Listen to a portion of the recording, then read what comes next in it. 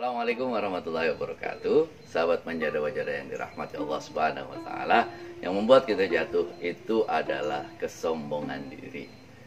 Sombong adalah merasa bahwa kita sudah mempunyai semuanya Kita sudah memiliki semuanya Lalu kemudian kita tidak mau belajar lagi. Sombong adalah kita merasa bahwa kita sudah, sudah, sudah Merasa sudah, merasa sudah ketika merasa sudah merasa sudah maka kita merasa tidak perlu kemudian belajar lagi.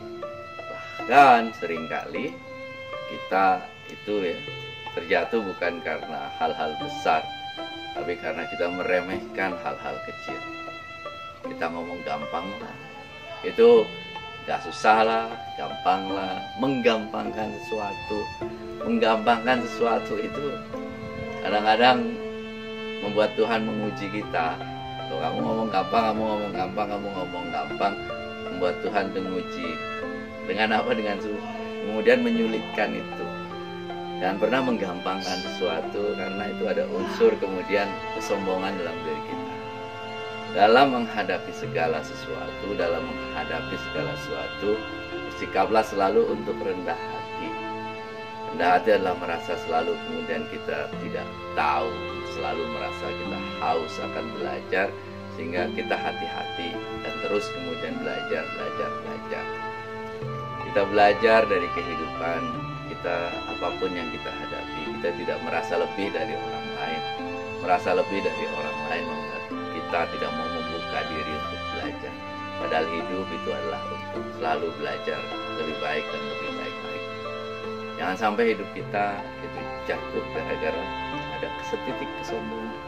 Ria, sombong itu adalah selalu menjadi awal untuk sebuah kejatuhan. Orang jatuh itu karena sombong, merasa bisa, merasa, merasa, merasa tidak mau mendengarkan orang lain. Akhirnya kemudian suatu saat pasti akan tersandung dengan kesombongannya itu. Berusaha untuk seperti padi yang semakin lama selalu semakin merunduk. Semakin kita belajar banyak ilmu, semakin kita merunduk. Semakin kita belajar ilmu pengetahuan, semakin banyak kita belajar keterampilan, maka semakin lama, semakin kita tundukkan diri, semakin kemudian kita rasakan diri kita sebagai orang-orang yang haus selalu akan belajar, sehingga di mana pun kita berada, kita tidak merasa lebih, tidak merasa lebih bisa, lebih pintar. Itu yang akan membuat kita sukses. Kenapa? kita membuka diri untuk belajar. Padahal hidup ini adalah di mana-mana adalah untuk belajar. Kalau kita lakukan ini setiap hari, maka hidup adalah sebuah pembelajaran yang hebat. Kita apa pun yang terjadi bisa naik kelas. Itu karena apa? Karena kita belajar.